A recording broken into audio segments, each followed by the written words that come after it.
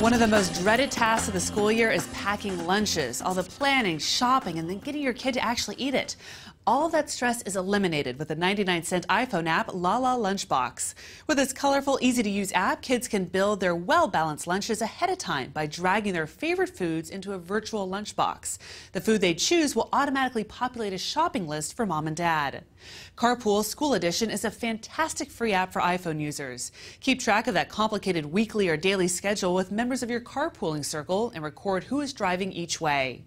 Finally, ease your kids into the school year with the $4 iReward chart for iPhones and Androids.